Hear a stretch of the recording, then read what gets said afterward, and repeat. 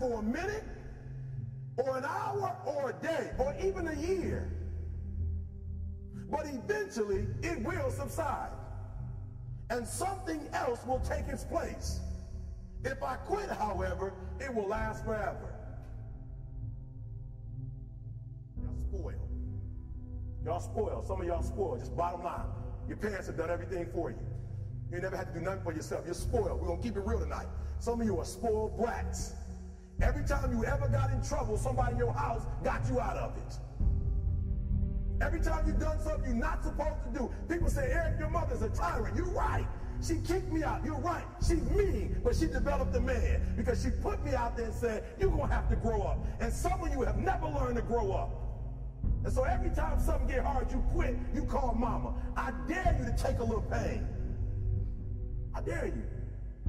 I dare you not to go home. Somebody said, I'm gonna go home, I feel bad. Go, go through it.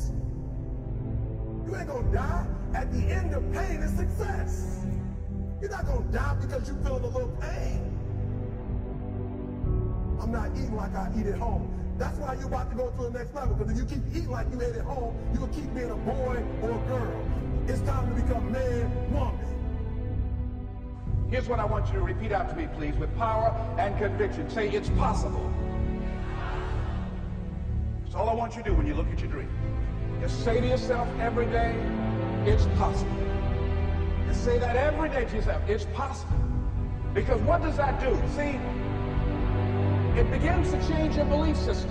I look at the world. See, the way in which we operate, ladies and gentlemen, it's a manifestation of what we believe, what's possible for us.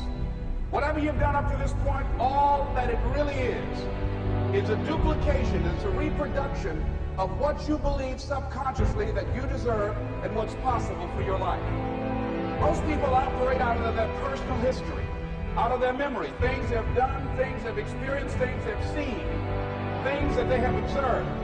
But I'm suggesting that you operate out of a larger vision of yourself. I want you to see yourself doing what you want to do, experiencing what you want to experience, having what you want to have, doing what it is that gives your life some meaning and value.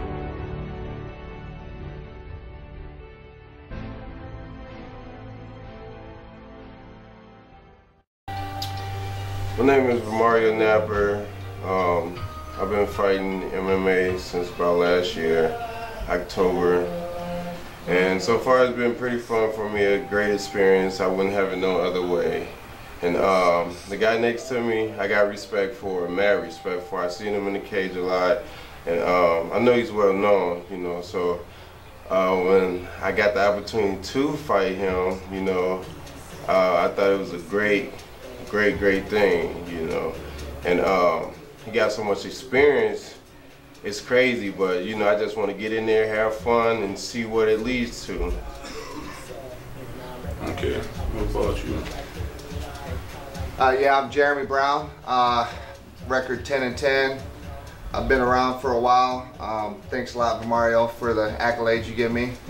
Um, been watching you uh, move up the ranks. Uh, been taking out your opponents. Uh, fought. We have a mutual opponent, Mike Junk. Uh, did very well against him. You did, and uh, mad respect for that. So uh, I was at uh, Todd Brown's gym Saturday. I think it was the 4th, May 4th, and told him I wanted to fight, and he threw out a couple names. Yours was one, and I said, you know, let's do it. And I left and got a message saying that uh, Mario Napper versus Jeremy Brown, and uh, so it was official at that point. And uh, June 8th, uh, all I gotta say is uh, Elkhart, Indiana.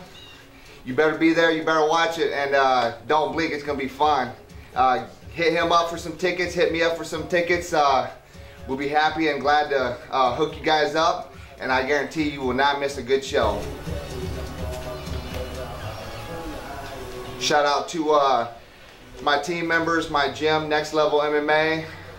Uh, Do It All Automotive, K&B Trucking, out of uh, White Pigeon. Um, shout outs to Team Relentless. Um, they've been there for me since day one.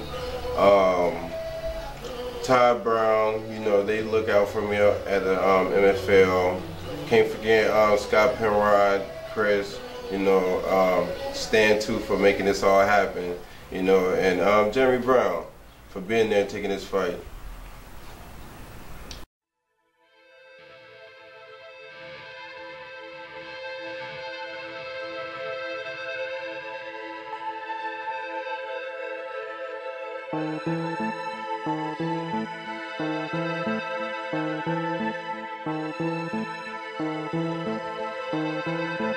Thank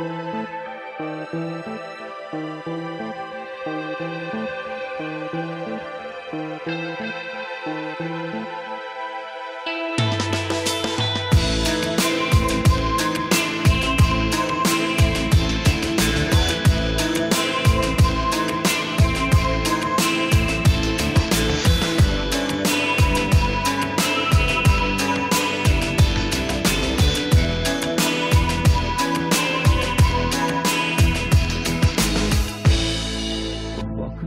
presence.